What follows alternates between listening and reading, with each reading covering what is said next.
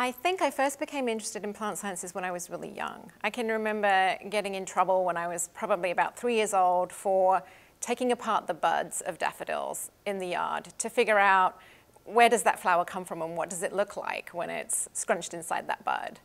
Um, and I think that just continued through school. Like I've always enjoyed growing things. I've always had plants in my room at home, um, in my dorm room at college, in my office now and at home now. Um, I love eating plants, so I like to grow what I'm going to eat. Um, I think they're beautiful, and I just really like to have them around me. Um, so my name is Emma Knee, and I'm working right now as a contractor with the Arabidopsis Biological Resource Center at Ohio State.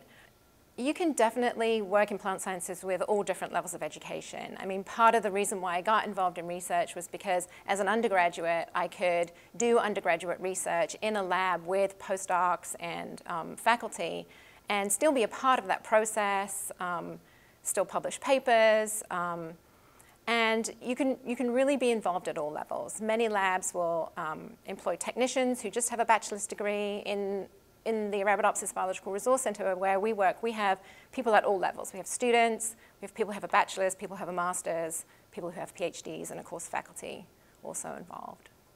So my name is Eric Grotewold. I'm a professor in the Department of Molecular Genetics here at The Ohio State University. When I was a kid, I was very uh, bothered by the fact that there were so many hungry people. And I thought, innocently, that just growing more plants and making plants better would actually be the solution. So I became interested in plant sciences pretty much when I was in grade school.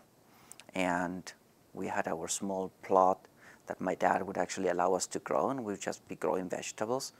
And I said, well, that's what I should do in the future, is just expand these plots and feed the people. I went into chemistry, not sure why. My dad is a chemist, so per perhaps there was some influence there. And in chemistry, I did not learn anything about biology itself, but I learned a lot about how things work. Essentially, all those minute things of biology that ultimately makes the biology, right? When I started with my postdoc is when I started working with plants, particularly with corn. And I stayed at my postdoc for about four or five years before I became an independent investigator and had my own research group. And at that point, I could see how everything in biology is just a sum of chemistry. So suddenly my entire career made sense in the context of biology. And that's how I became interested in biology, but I still had that dream of continuing to work into plants. Uh, hi, I'm Gary Posey. I'm a greenhouse superintendent at Ohio State University. The most interesting part of my job is probably that it's actually two jobs.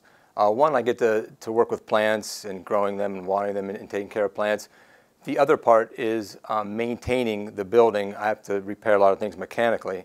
So the mechanical half and the, and the plant half kind of satisfies both parts of my brain. Hi, I'm Ana Alonso. Uh, I'm assistant professor in the Department of Molecular Genetics at The Ohio State University. I am also the scientific director of the Targeted Metabolomics Laboratory. The most challenging part of my job, I would say, is is all the thinking.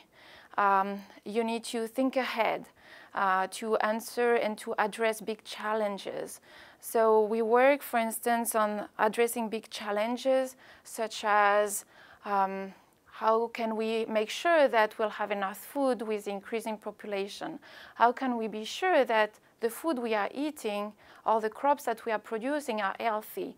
Um, how can we be sure that in several years from now we'll have enough energy to sustain uh, our living uh, pattern. So what, uh, what is challenging is actually to think ahead and have the vision of what is the best for the next generations. My name is Courtney Price. I'm the Education and Outreach Specialist for the Center for Applied Plant Sciences and the Arabidopsis Biological Resource Center. So, my advice to anyone interested in maybe pursuing the sciences as a career or even wanting to be like a science communicator or a science educator would be to really explore all the different opportunities that are out there. There are a lot of career paths that aren't obvious right at the get go. Just ask people who do things that you're interested in and try to find out what opportunities are out there and experience them to see if they really are what you like. Um, and it's okay to think you want to do something, try it, and realize it's not for you. Okay, my name is Katie D'Amico. I am a second year PhD student at Ohio State University. I work in the Department of Plant Pathology. I study forest pathology, and I work on uh, trying to better understand how trees defend themselves against pathogens. I think the most challenging part of my job is definitely time management. So I might have to come in at five in the morning to check on samples or come in on the weekends. Um, so just the, the nature of the job makes it so that it's not a standard nine to five. When I was younger, I was thinking that doctors, uh, surgeons, yes, they are helping people because they save lives, right? Uh, us as a scientists, we are helping, I'm thinking like we are helping the next, the next generation because we are thinking in problems that we may not face, but our kids or our grandkids will face. It can be really difficult to get through the process of completing a master's or a PhD, but if you are really interested in what you're doing and if you have that passion for the work, it will carry you through to the end.